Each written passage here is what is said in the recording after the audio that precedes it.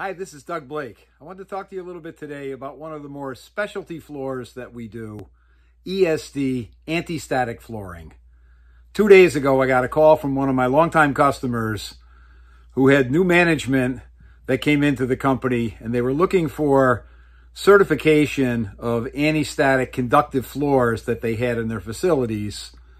And they needed to get assurance that these floors were still performing for what they needed. This particular company uses some very combustible solvents and needs conductive floors in some of their manufacturing operation to pull the static charges away to prevent from explosions.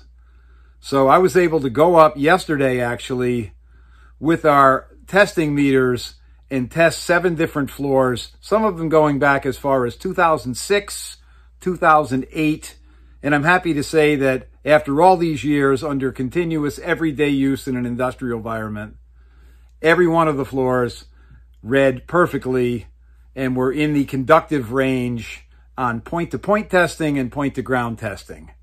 So I'm going to get next week a little further into some of the things that we offer with ESD floors, but I just wanted to talk a little bit about the options for ESD flooring it's not always, as many people think, just for electronics.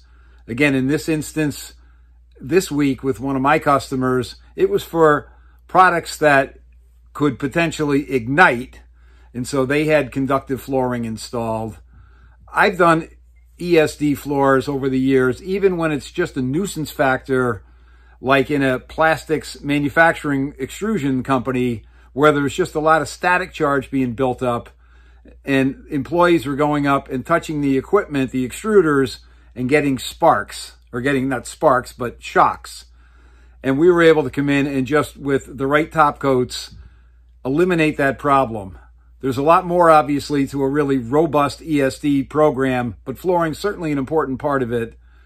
And if you have any needs or areas where maybe you just have static nuisance, and in your factory floors, or maybe you're electronics manufacturers and you have very specific requirements, or again, places that are using flammable solvents in your operation and you need your floors tested, you're not sure if they're still in compliance, then just in the comments, put ESD or ESD testing, and we'll be sure to reach right out to you and see if we can help you out.